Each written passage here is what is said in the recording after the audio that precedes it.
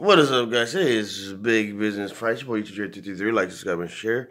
Today, we're going to talk about how you can save money on a budget. First, you need to create a budget. A budget is a list of all your monthly expenses, what you're generating, and what you're spending. In order to save, you need to make sure what you're spending is less than what you're making. So, first, we're going to talk about the needs of the month. So, probably your biggest monthly bill will be your rent. So, remember to deduct that first. Second, you want to take out any car payments and insurances. Don't forget food. They know, here in the YouTube 33 house, we love to eat. So each family will be different in regards to how much you spend a month on food. Next is entertainment. For entertainment, make sure you budget for each week. So you like to go out of town, you like to go to the movies, you like to go to the park, you like to get wasted at the club. I'll make a separate video talking about the free things you can do for entertainment. So if you have any utilities, water, sewage, lights, make sure to budget that in as well. Next, create an emergency emergency fund in case something happens you don't have to deduct it. So now let's talk about savings. You might want to create a monthly or quarterly goal for how much you want to have uh, saves.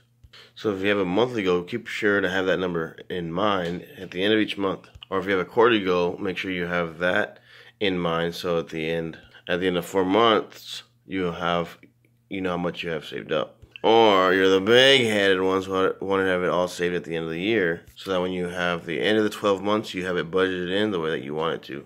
And what you do with your saving also depends on you. So you can invest, you can put in a savings or a CD account that will increase with interest. You can invest in yourself and buy better equipment if you have a YouTube channel like me. You're a world traveler, you can travel the world. Maybe you want to buy a car, that house you've been dreaming of.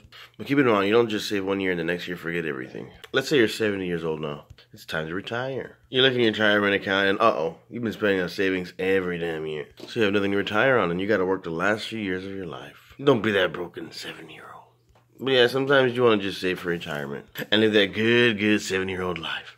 Like, subscribe, and share. Comment down below. Let me know what your savings goals are, or if you are already saving, how much are you saving? If you want to see more videos like this, give the channel a thumbs up, like, subscribe, and share.